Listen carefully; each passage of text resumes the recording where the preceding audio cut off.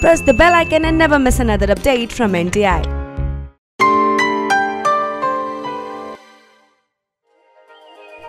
आशिक बनाया अपने सबने बोल सीन के ज़रिए। चर्चा में आए तनुश्री दत्ता। इन दिनों अपने साथ 10 साल पुराने हुए सेक्सुअल हरासमेंट को लेकर सुर्खियों में है। तनुश्री दत्ता का कहना है कि नाना पाटेकर ने एक फ़िल्म के गाने की शूटिंग के दौरान उनके साथ बदतमीजी की थी। वही अब तनुश्री और नाना विवाद को लेकर प्रेस कॉन्फ्रेंस करने वाली बॉलीवुड की कंट्रोवर्सी क्वीन राखी सावंत को अब जान से मारने की धमकी मिल रही है।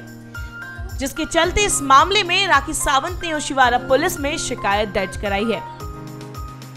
राखी ने अपनी शिकायत दर्ज कराते हुए कहा कि उन्हें अननोन नंबर से धमकी भरे फ़ोन आ रहे हैं। उनका कहना है कि फ़ोन करने वाला व्यक्ति इस मामले में उन्हें चुप रहने और बीच में नहीं आने के लिए धमका रहा है। और बात न मानने पर अंजाम भुगतने की धमकी दे रहा है। इसके बाद राकेश सावंत ओशिवारा पुलिस थाने पहुंचकर पुलिस अपनी शिकायत दर्ज कराई। इस मामले में ओशिवारा पुलिस ने भी शिकायत दर्ज करते हुए अपनी जाँच शुरू कर दी है। वेल, आपको बता दें कि फ़िल्म हॉर्न ओके प्लीज़ में तनुश्री ने जिस गाने में नाना के ऊपर छेड़छाड़ करने के आरोप लगाए थे, बाद में उसी गाने के लिए तनु को रिप्लेस कर राखी सावंत को लिया गया था।